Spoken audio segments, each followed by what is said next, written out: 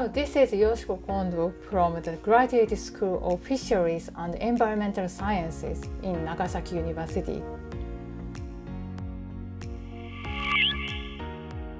I'm conducting research about trace metal cycles in the ocean and their effect on primary production.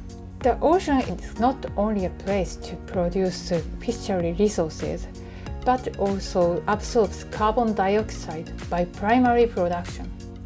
So it means that the ocean is an important reservoir of carbon cycle to consider the problems of climate change.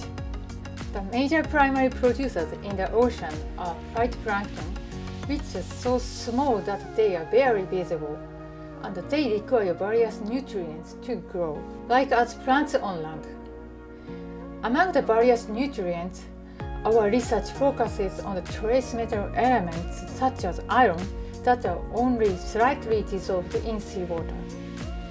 Trace metal elements are indispensable for a lot of biological metabolic processes, including photosynthesis.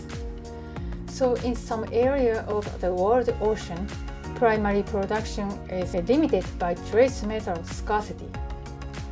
However, understanding of the trace metal dynamics in the ocean has not progressed enough. From this background, I am studying about the dynamics of trace metals, especially about iron. This time, we could have a presentation at the international conference with the support of the Diversity Promotion Center in Nagasaki University. This study showed that in, the subarctic North Pacific, where it's known for iron scarcity, the distribution pattern of organic ligands that form a complex with iron differed between east and west.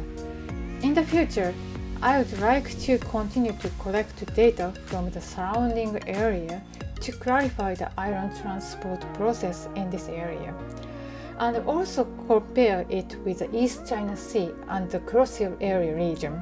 Thank you very much.